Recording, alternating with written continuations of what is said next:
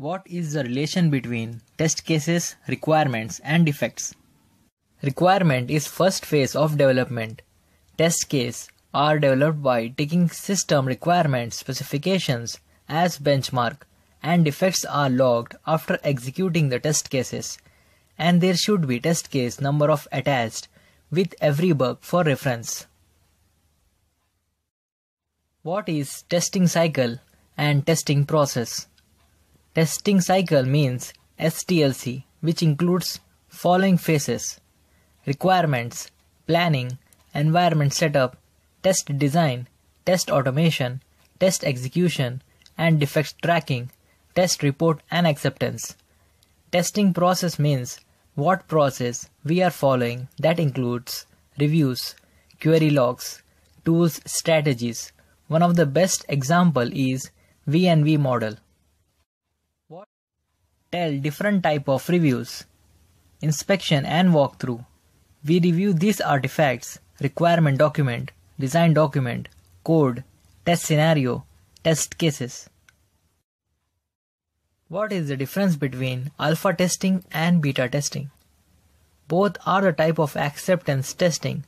Alpha testing is done by customer at developer site and beta testing is done by customer at customer site.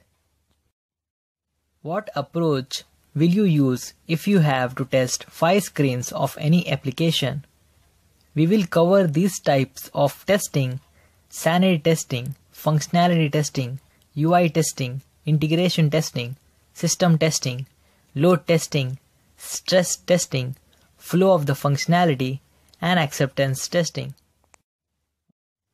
When does testing starts?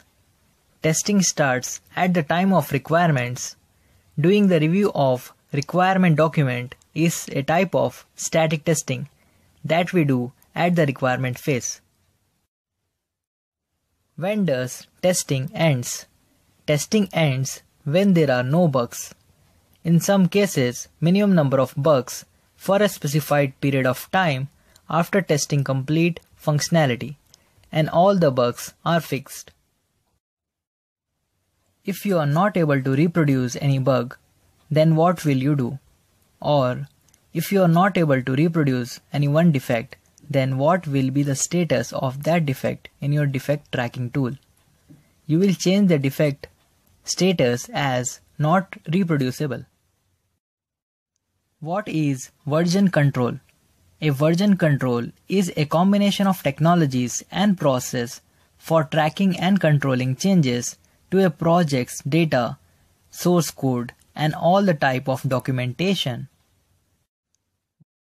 What is the importance of test data while testing the application? Preparing the test data is very important activity. It helps a lot while execution of test cases. If you have proper data, then there is no time wastage of time while the test case execution to look for the best data. What is traceability matrix? Traceability matrix is used to track the requirement while doing the testing and check what all requirements are covered in testing and what all are left. Please provide the examples for the following scenarios. 1. High severity and low priority. Second, low severity and high priority.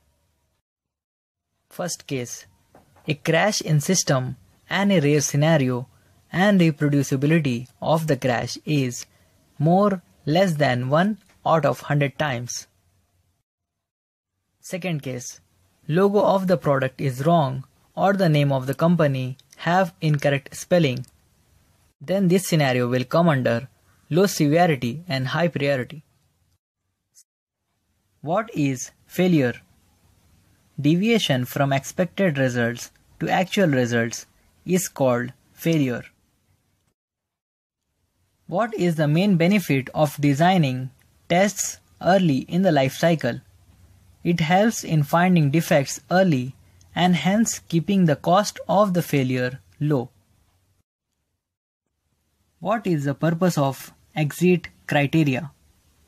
To define when a level is complete Every testing life cycle should have exit criteria.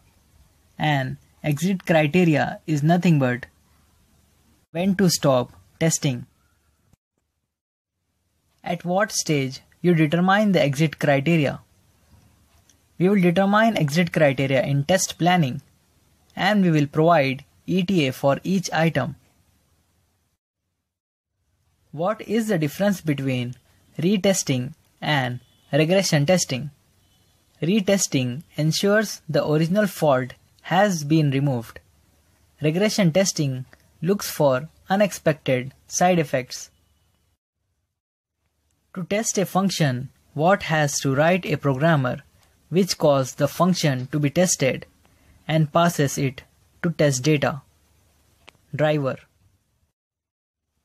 What type of testing we should do first on any software to test?